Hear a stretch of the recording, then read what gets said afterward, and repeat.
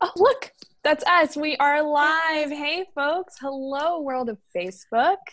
Uh, hi. Um, this is the cast of Trifles written by Susan Glaspell, as presented by the Studio Theater um, for our virtual play reading series. Welcome to our live talk back.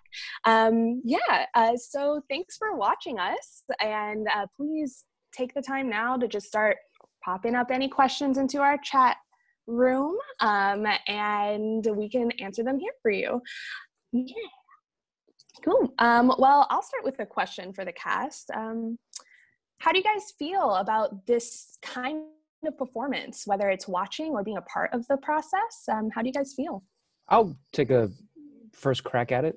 Um, uh, it's it's inspiring to see um, the way that art needs to come out. Um, it it it's it's an impossibility to for anything any type of uh, social global situation to ever fully suppress that type of of spirit and every single time something like this happens it it fills my hopefulness up a bit so that's how I feel about it. Uh, I mean, it's it's great being able to you know still work with people and and and really some of I wouldn't normally get to work with. I mean, from all over the the tallest man on earth. Uh, his name's Kristian Matsson. He's Swedish, uh, but he play. He's probably one of the best clawhammer banjo players in the world. He's kind of like Sweden's Bob Dylan, and his tour was interrupted in in the middle of his North American tour, and I think he's stuck somewhere in the Finger Lakes district. But every Friday. He live streams a concert uh, on the banjo and just sings covers and his own music and stuff. And uh, so I'm getting, uh, he was going, not coming anywhere near Florida this tour. I'm getting to see him every week. So, you know, in some ways, uh, the, the virus has brought us all closer together. So there you go. yeah, I love that. Um, I agree. I think it's really cool that we get to connect across so many lines. Um, um, normally, we really have uh, to, you know, work to get to work with uh, people from other places. Um, and get, being able to watch theater for myself, um, I watched uh, Love, written by Kate Cortesi, presented by the Marin Theater Company. And it was a show I would have never been able to see. And I'm so happy I did because it was fantastic. And I was fortunate enough to be able to pay for a ticket to see it as well. Um, so I was not only watching theater, and I was also supporting it um, from so far away. I love everything that everybody's saying, and I feel like right now we're just gonna like love fest about everything, which is awesome. but like, I right now I'm seeing too like how much creative potential there is that we sort of maybe haven't pushed ourselves into before because we haven't had to. And it's so interesting too to kind of think about the ways that we can fill out or explore this world in a way especially us as theater actors maybe not being someone that's that's normally on film or thinking about audio or uh, this kind of experience. It's really fun to sort of open up the box of of what possibilities there are too. It's really fun. Yeah, I agree. It looks like we have a questions coming in on our Facebook. I have, let's see, Sherry or Cherie, sorry. Um, uh, she watched last week, but is still wondering about rehearsals and getting into character. Um, and the line, uh, I assume that means learning the lines. If anyone has any thoughts about that. Well, I think she corrected it afterwards. She said she meant and the like. So like things of that nature, I believe. Thanks, Joe. Yep. I mean, I'll take that one. Um, it is because it's such a compressed process. You know, we're doing this, you know, in about a week span. So we get a rehearsal or, you know, a rehearsal, a rehearsal or two. And, um, you know, with this, we got to dive in a little bit more. Um, because it's a shorter play. So, you know, we have a long, we have this, these rehearsal periods and we can kind of pick it apart a bit more. With Pygmalion, you know, a, a five act, there wasn't quite as much being able to really dive into your character. Um, with this one, it, it helps too that they're kind of historical pieces. So that gives us, even when they're not, you know, factual characters, we can go back and research. We can look at the time, um, and and do that because, of course, the way Mrs. Peters reacts to some of the things that are said are very different than the way Allison Johnson would react to somebody telling me my life is about trifles um, so you know yeah there's it, it's a little the, re, the research and the preparation is a little broader maybe than it would be if i had weeks and weeks to prep it but there is having that long stretch of time and that historical background i think is is more important with this type of situation. It's also helpful that we don't have to memorize everything because that's quite a time suck sometimes. Yeah, so we had uh, two rehearsals where we were able to read through and uh, talk about the play as a whole, um, which is something we normally do um, when we're in a rehearsal room all together.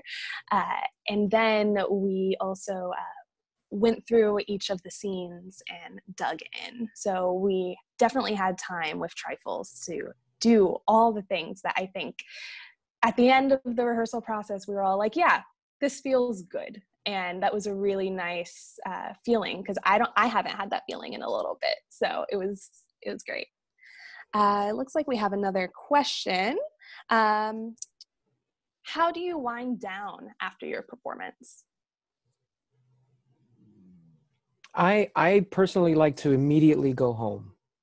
Um, so thankfully, uh, no, I, I I would say just like just like anything else you know you you're you're in this emotional state whatever whatever whatever it is that you are able to to sort of you know churn up during it and and just like anything else there there i we all have our own individual you know uh processes and whatever it is you know I, I like to do a lot of breathing and things of that nature. But i mean it's person i didn't find that part of this experience actually to be much different than than it would have been had i just gotten off stage.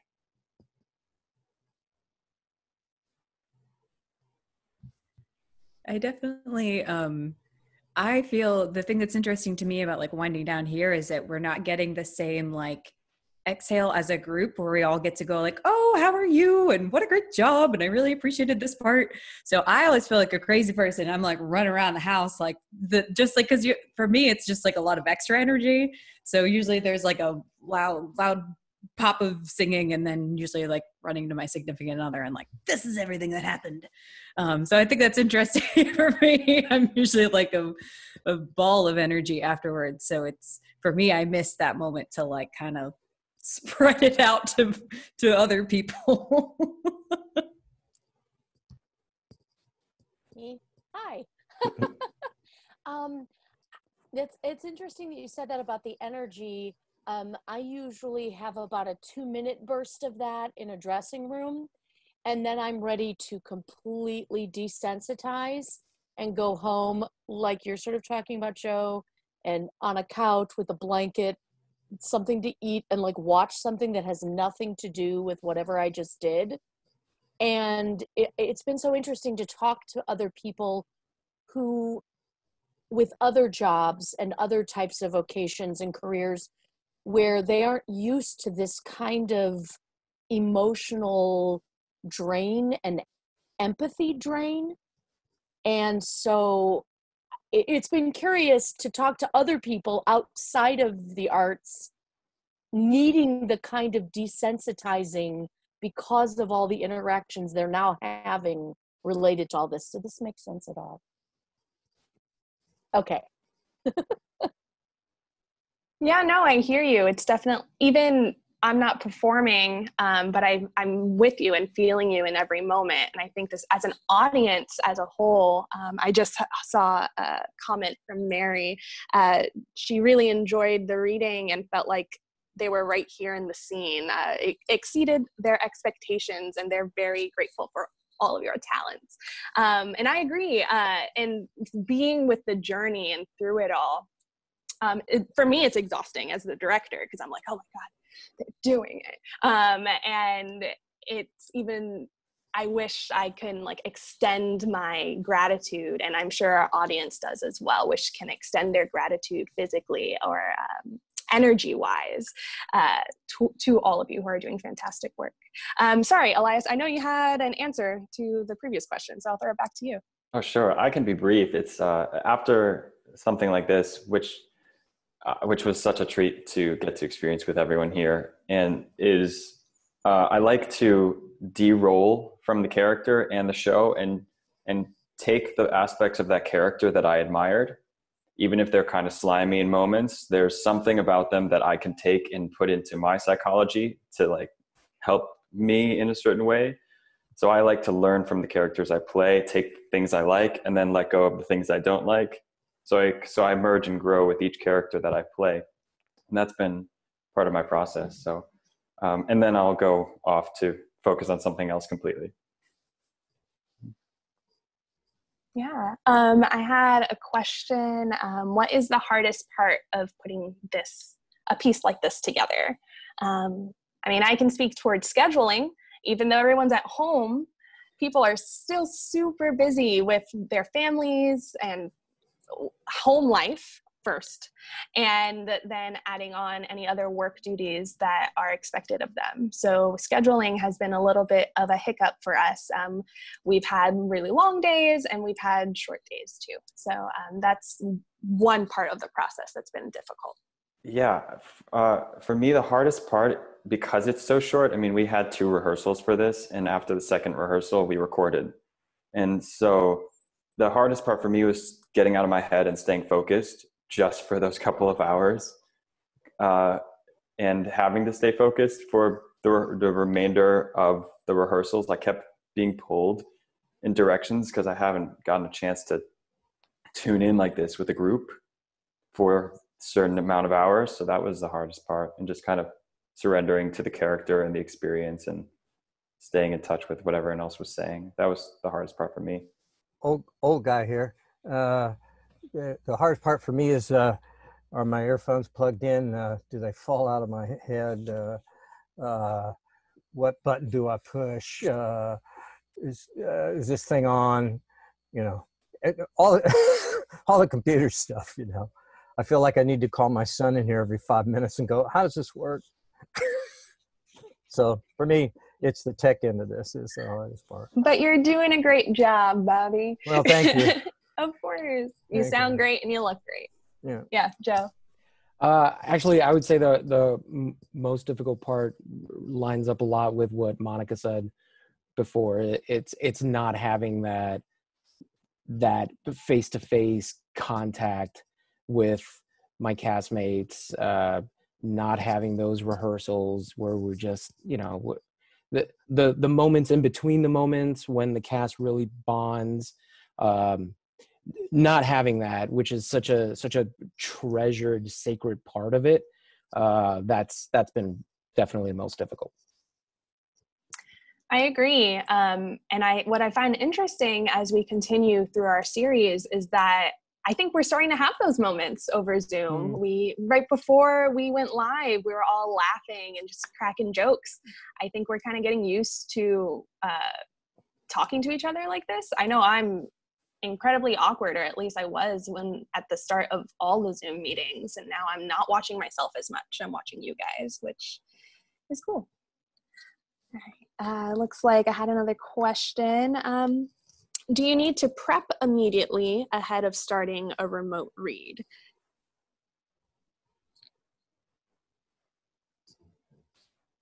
I'm not Shuri, I'm not 100% positive I understand your question, but maybe someone else does. Again, it's uh, do you need to prep immediately ahead of starting a remote read? I think that kind of goes with anything where it's like, yeah, you should. where it's like, yeah, when you get for the most part with anything, it's it's best to try and jump in as soon as you can. um, i think for myself i definitely learned that then that there is a different type and maybe level of prep work because there is a limited rehearsal um, it is for all of us sort of a new medium so there are a lot of obstacles kind of maybe getting in the way of performing so that's yes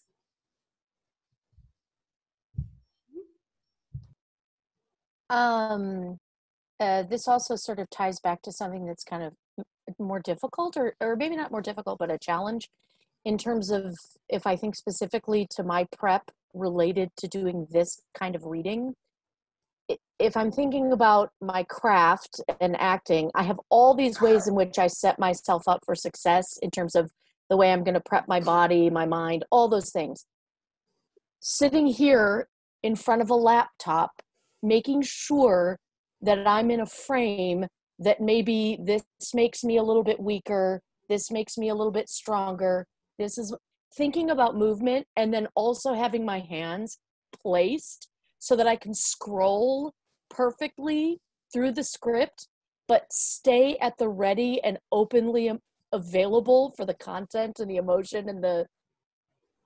So it's like preparing so that the things that like Bobby is talking about, the technical stuff doesn't get in the way of the other stuff. So prep, it's a really good question. Prep is everything. It's a legit new skill. It's a new Right. skill to to acquire. Right. My body does not have that in it at the ready to just so it's new. Yeah, thanks for that, Joe. yeah Yeah. i think too there was for me Kind as of well there was. Oh. um even on the on the the screen side like what what uh pdf reader are going to use? Can you mark in it easily? Can, eh, what's the best way to highlight it? Do you need different colors to highlight it so you can like read it better? There's a little bit of like an organizational state yeah it's the, the stage uh grace is i'm sure about that life. Um but yeah it's a there is a different a different sort of prep and it's a, a different medium. So that yeah that's so cool heather. See, and I have not graduated from obnoxious note taking and paper, and like I can't function without a script. Um, we do get the script well before the rehearsal, so there is that form of immediate preparation. So as soon as I get the script, I read it. And, um, you know, I can read on a screen, but for my process, you know, I, I like to be able to hold it, highlight it, make notes. Here's, you know, underline the word that you know and i cannot do that in a pdf reader Absolutely. and and there's and then there's too many devices but then i've got this paper and i don't want you to see me moving the script so it's just it's it's a lot of weird juggling that you don't deal with in a rehearsal you don't deal with even in a regular old reading you know in in front of a crowd so um yeah All right, we have another question from Tara Cromer. Hi, Tara. Um, she was with us in season three. She directed a sh- It Should Have Been You. So, hello and welcome to our stream. Um, yes, the uh, video of the performance will still be available. You can find it on our Facebook. It's also on the Villages Entertainment YouTube channel. So, if you look up the Villages Entertainment, you'll find not only Trifles, but you'll find Pygmalion and the uh, live stream uh, talk back from Pygmalion as well. Uh, and she has a question for you guys. Uh, as theater artists, we're all eager to be back in the rehearsal room and on stage. Are there provisions you feel will be important to you as actors regarding social distancing whenever things start to open back up? Yes. Yes. I- A vaccine. I mean, yeah. Look, the, the the simple fact is that eh, eh, as much as uh, there has been talks of when it comes back and when it comes back and when it comes back, and it's not actually going anywhere. So until, as Heather just said, until there is a vaccine, then the only thing we have is uh, treatment and safety guidelines. That's that's all we have. So I think they should continue to be um, exercised and and seriously considered. It's my personal opinion. and sorry go ahead um, i think it's going to affect selections um, because there are plays there's a lot of play you can't you can't act in social distance i i mean it's going to be very difficult to as difficult as this is it's still imagine if you know they put heather right in front of me but said okay but stay six feet away from her you know i still can't I, I can kind of but i still can't draw quite as much from the eyes across the stage. So it's yeah i mean we keep thinking about going back but it's like yeah when's that really going to be? Like when are we going to be back to full blown you know intimate theater? I don't know. So i try to think about it that that question kind of excites me because uh, we have to invent new ways to connect and we have to listen with more of our body.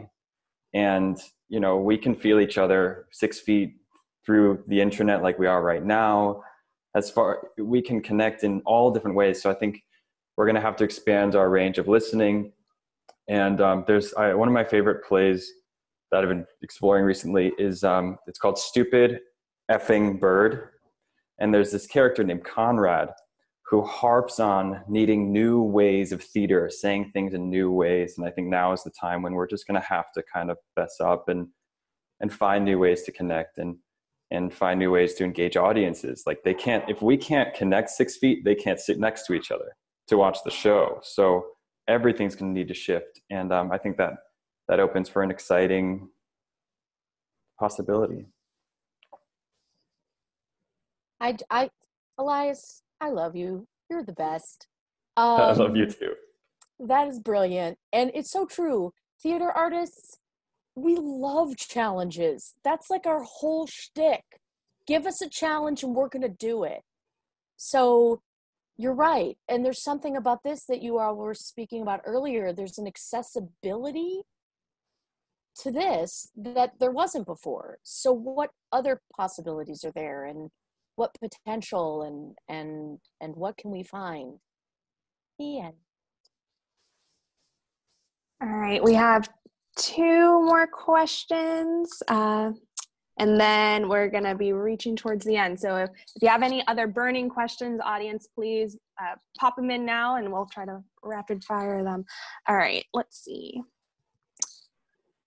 uh, similar to winding down, do you need to plug into your character or do you just get up and go? I mean, I'm I'm not an actor, so it.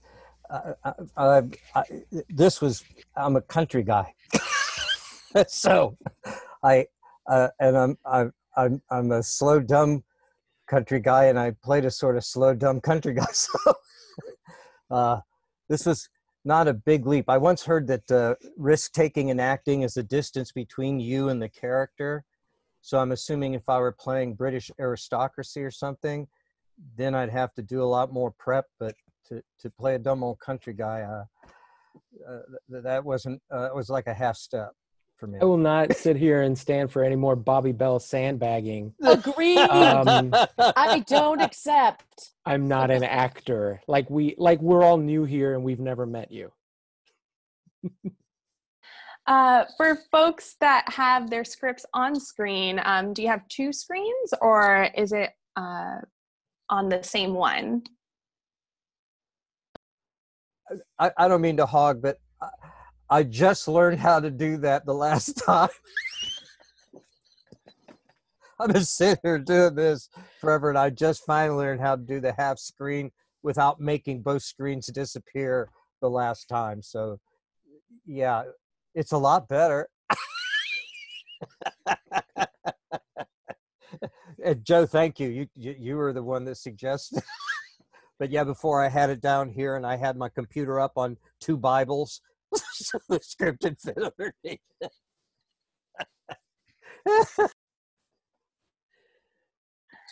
All right, let's see. Um,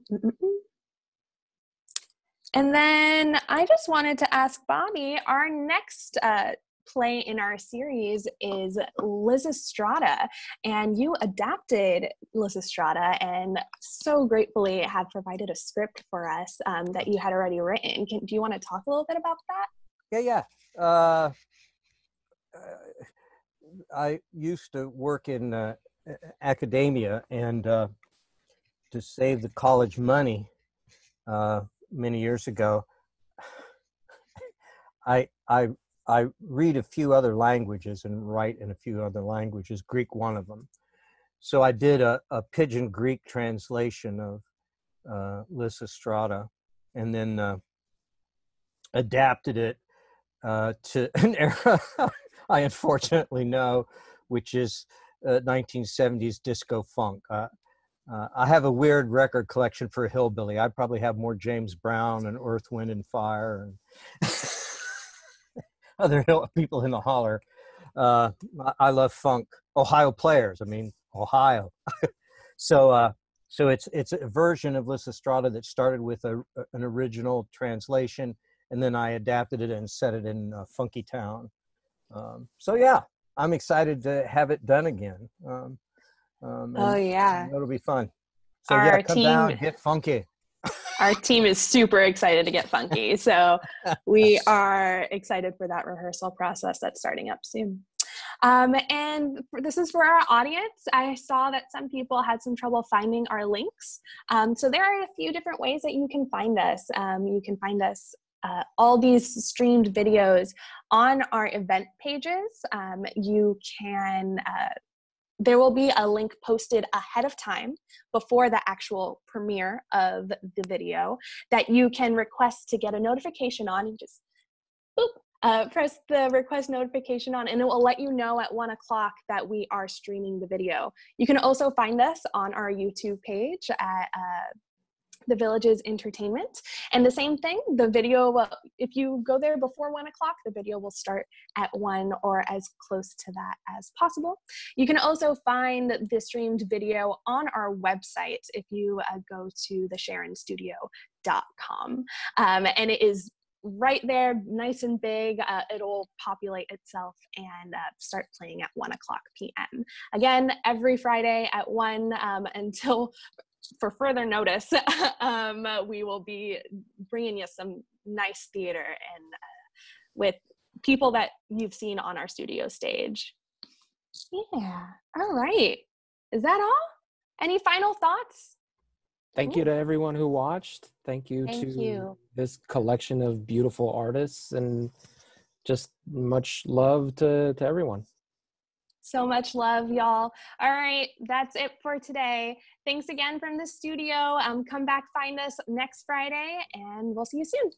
Stay safe, stay healthy. Bye. Thank you. Bye. Bye. Bye. Toodles.